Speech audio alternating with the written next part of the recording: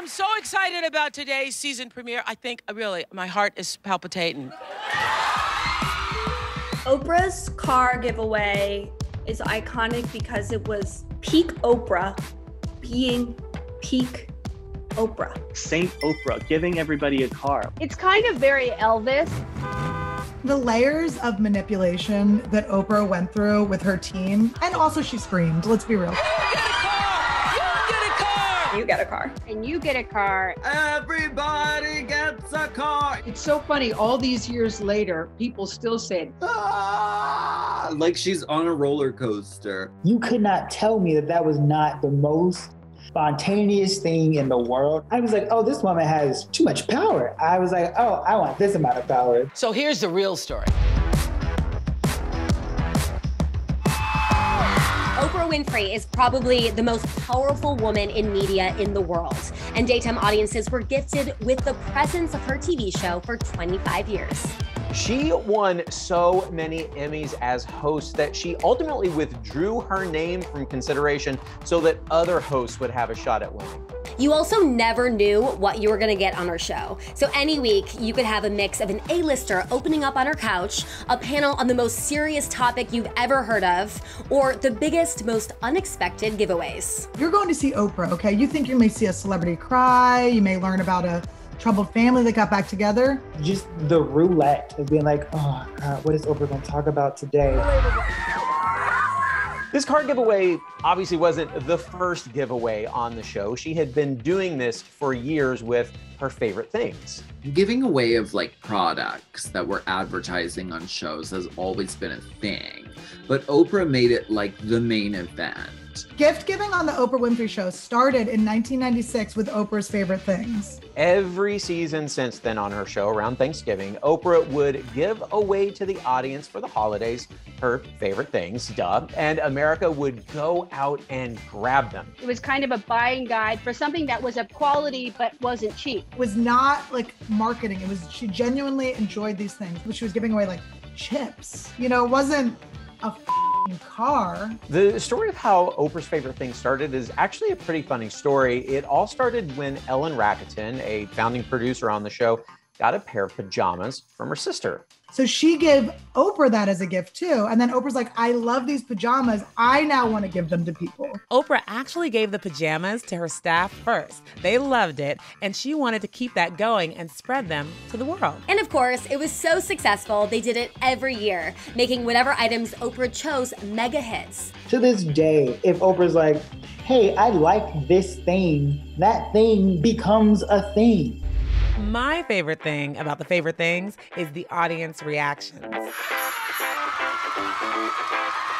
Her audiences felt like they were given coffee and like ketamine. Like they were on the edge of their seats at all times. Everyone knows it's my birthday! There is a famous SNL sketch, which today you might think was a reaction to the car giveaway because the audience was just going wild for all of the gifts they were getting. But actually, mind blown here, that SNL sketch was actually seven months before the car giveaway. If Oprah wanted to start a cult, she could have at any moment. Those people were in the palm of her hand. What's also really interesting about the origins of the car giveaway is that it might not have even happened if it wasn't for Oprah's BFF, Gayle King. Well, I don't like to claim credit for the car giveaway, but Here's some Gayle and Oprah backstory. They've been inseparable ever since working together at a local news station in Baltimore back in 1976. Their friendship is more important to me than like my own personal friendships. Oprah and Gayle are like Mary and Rhoda. They are like Romy and Michelle, Wilma and Betty. Okay, they're best friends from forever. They're good Judies. I love that Oprah and Gayle have this bond that is unbreakable, unshakable. They're the BFFs that I model my BFF relationships off of. Did you know that Oprah's middle name is Gayle? It's spelled differently, but come on, her middle name is Gayle. I love that moment of Oprah saying, She is the mother I never had. She is the friend that everybody deserves. I don't know a better person. I was so touched by her description of what I mean to her. Being Oprah's BFF, Gayle appeared frequently on Oprah's show and became a public figure in her own right, which all plays into how she fits into the origin story of the car giveaway. I was at an airport minding my own business. A guy walks up to me, I'll call him Larry. We're really interested in giving um, a car to the show. I said, Oh, okay. And I said, All right, that's nice. And he said, No, no, no. I mean, we're interested in giving a car to everyone in the audience. Well, at that point, I put down my suitcase and went, What did you say? The fact that it was a guy who just rushed to her and was like, Gayle, I have cars for your best friend Oprah to give away. Like, what? He said, You know, we've been trying and, you know, we can't get anybody to return our calls. Well, why would they return the call? Because it just sounded so far fetched. But there was something about him. There was something about him that that I believed him. I believed him. I think that's iconic. Who is this man? We should know his name too. It's not like this was the first time that Gayle got a pitch for Oprah, but Oprah didn't want to talk business with her friend. I mean, can you imagine how many people are pitching Oprah all the time? She said, I have a whole team that does this. I get this all day long. I really don't want to get it from you. I love that Oprah's like, uh huh, yeah, put it in an email. There are still times that I just can't help it, which is what happened with the card. So I said, I'll take your card and I'll press it on your team. And I couldn't get to the phone fast enough. That's how good this idea was. That Oprah, after being like, Gayle, uh uh not from you, still picked up the call, still listened to it, and was like, oh, hell yeah, we're doing this. And then from there, then the question became, how do we execute it?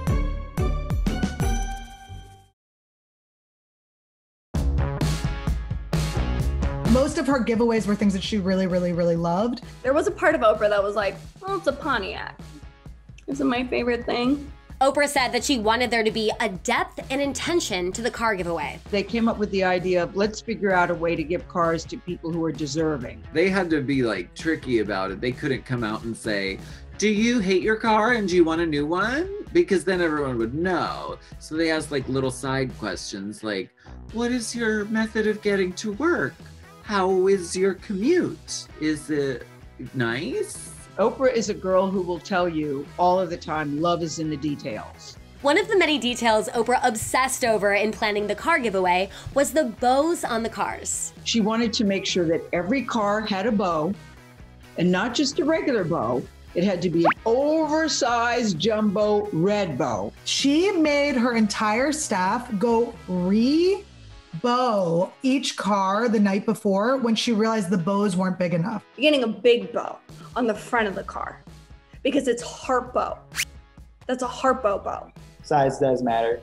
And we know that Oprah now thinks that. I remember her looking at different shades of red to make sure it was the right shade of red. And then she made sure her her outfit matched. It was a whole big thing. She's always been very dramatic, don't you think? Gayle was like, no, you're not gonna wear that, are you? Oprah's like, hello, it matches the bow.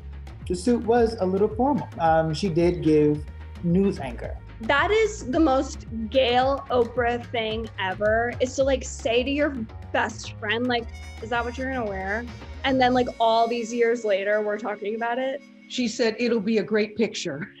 it'll be a great picture with the red. I, I th- she might have said something like it won't be jarring to the eye or something like that. It does bring her together. I mean, you are going, okay, not only did Oprah give me a car, she gave me like the fabric off her back to wrap that car. It was kind of on brand, like I'm the gift, which I love. The truth is, she could have sat up on that damn car buck naked, and that would have looked good too.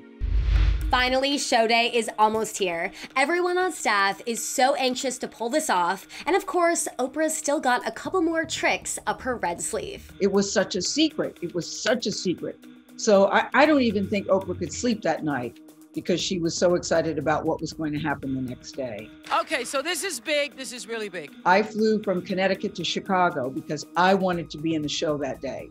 I wanted to see it for myself. So it's showtime, and Oprah calls 11 audience members up to the stage and reveals something else they all have in common a need for a new car. There's a Pontiac in the studio, and Oprah explains that she has one for each of these 11 people, and they're parked outside. So then the audience is now feeling this joy for them and maybe a little envy. You're like, holy shit, that's a lot of money and that's such a big ticket item. That's so cool. And then she goes, Someone in this audience still has the chance to go home with a brand new, fully loaded Pontiac G6. G6, G6. So then they all kind of kegel and they're like, oh my God, could I be getting a car too? Now I'm invested. Her manipulation comes with gifts, excitement, joy. She's lying for a good cause. And if that wasn't enough, then come the keys. Oprah like summons from the depths of Harpo Studios an army of models bearing jewelry boxes, one for each audience member, of course. And notice those bows? You guys, she loves a theme. We said everybody's gonna get a box, and there's one key for one car left. If your box has a key, you will be the last person today to get one of those cute little G6s. Okay? Now, Oprah is a master of attention to detail, so of course, the night before the show, she had opinions on how the key boxes should be handled. The first thing people are gonna do is shake the box, and everybody's gonna go, "Hey, I got a box." I Do not open. Do not shake it. Do not shake it. Do not open. If the keys were loose in the boxes, people would shake them and they would already know they were getting the car and it would give away the surprise. Do not shake it. All the calls, all of the emails about those boxes, and not one person said, Aren't people going to shake them? So she made one of her producers go around and tape each key to the box. Open them up, open up every single one and tape them down. The finished product was well worth it. It's the moment of truth. She calls for a drum roll, and then you all know what happens. Two, three. People just lost their friggin' minds. You could feel it in your eardrums. It's pandemonium. Seeing real emotion on people is so rare. It's like one of those real moments in time where you, you just can't recreate it.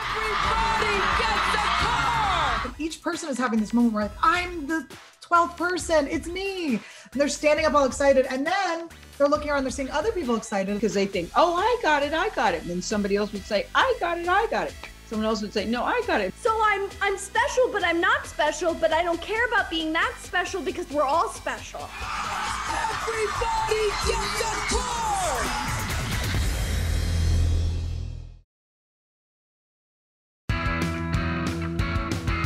Going to the show and being able to be in the same room with Oprah was the gift. So on top of that, you get a car. I mean, it's it's too much. I don't know how these women lived their next day after that. If somebody is gonna like pass out because they got Salma Hayek's favorite UGG boots, like they're gonna go crazy for a free car. To make sure that the audience made it out of this giveaway alive, the producers took some very careful precautions.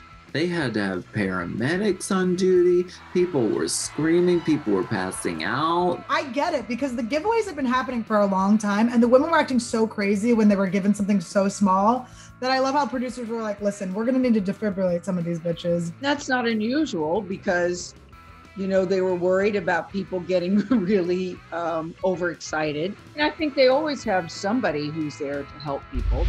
Of course, giving away 276 cars would always be memorable, but we probably wouldn't still be talking about it if it wasn't for the way Oprah said those words.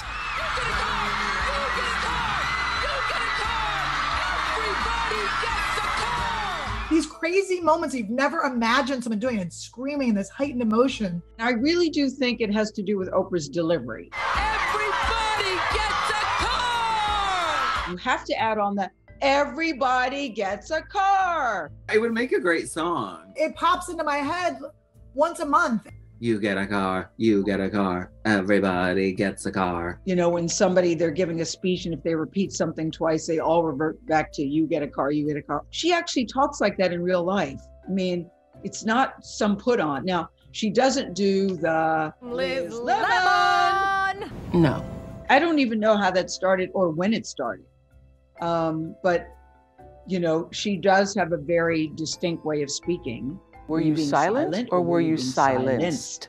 That was one of my favorite lines in the interview. Yes, the way Oprah speaks is iconic, but she was saying you get a car so loud and so often for practical reasons. The reason I was like, you get a car, you get a car, you get a car, because the people were screaming so loud and they were confused by the keys. That moment when the first person opened and pulled out theirs, she was the first per- woman. Somebody went, everybody else went like, huh, it's her. And then they opened theirs and they went, I have one, but she has one. I could see the confusion. People were like, what's going on? That's why I was like, you get a car, you get a car. One of the show's producers, Terry Goulder, says he wrote the script and he remembers Oprah going through it and practicing it with more and more excitement in her eyes each time. I remember it so clearly how excited she was to be as she was preparing for the show. I've never seen so someone like so outwardly show joy like a cartoon. That was one of the happiest days of my life. The joy in that studio was palpable, which I'm sure you're reminded of every day online, where you still see gifs from that episode used almost 20 years later. The exact like exuberant stance that Oprah Oprah is taking. Is it that one? It's the perfect me for just like uncontainable glee. The happiness gift. Yeah, I mean, does this gift not work for everyone? Like, ah, I mean, it's like the greatest gift for every moment. And then you would see like different things that would be photoshopped into her hands. I've seen it with like hair, weed, cake. A baby's born.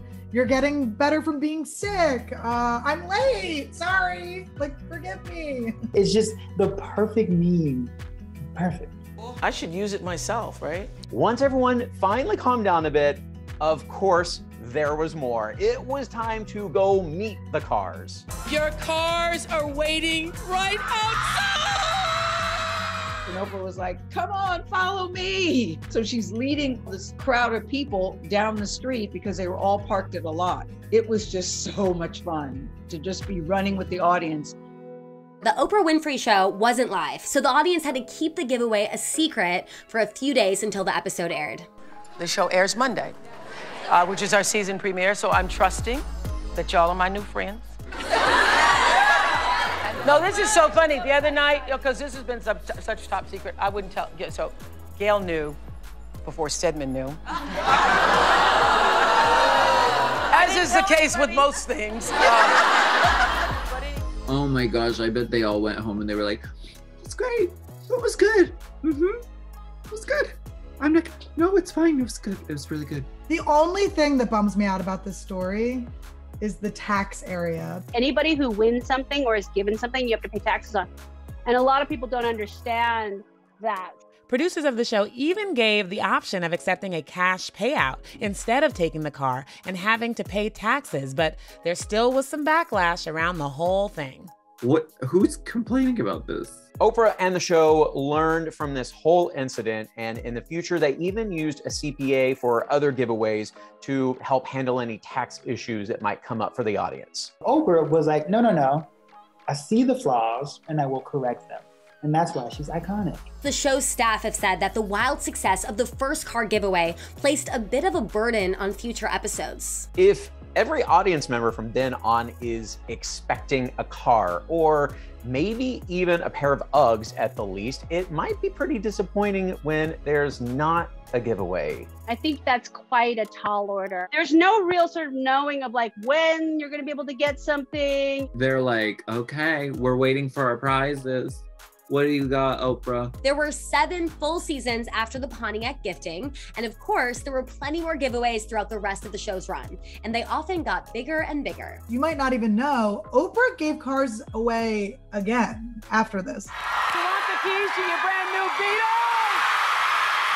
Come on out, Volkswagen now! But nobody really talked about it because I think the reason we just can't forget her giving those cars away because it was so shocking. It'd never been done. Like that amount of money, that impactful of a gift. That just proves that even Oprah can't out Oprah Oprah. She doesn't live her life trying to top things. She honestly has never lived her life like, I did that. Now, what can I do to make it better? She was always, I just want to do a really good show. That's what I want to do.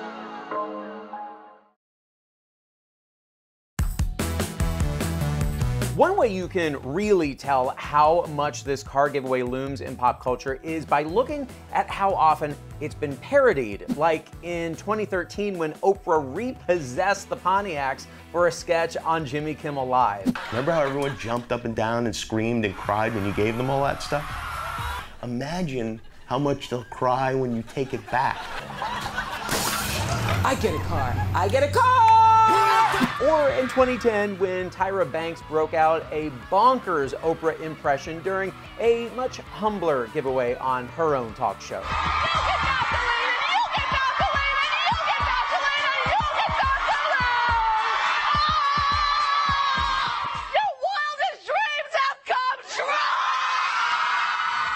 Now we have the meta parody of a parody with Doja Cat for Tyra Ween dressing like Tyra, giving away the Vaseline. I'm about to reveal my biggest beauty secret ever!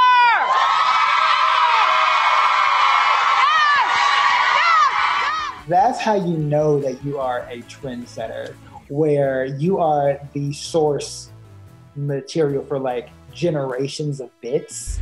Listen, the car giveaway may have been instantly iconic, but now it's a part of history.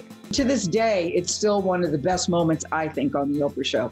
She's had many, but that certainly is one of the standouts. She broke the internet before the internet was there to be broken, really, you know? Oprah is culture, period. What is culture without Oprah? Oprah is really about this American spirit of grandeur. She really is somebody who likes being a force for good and really asks for very, very, very little in return.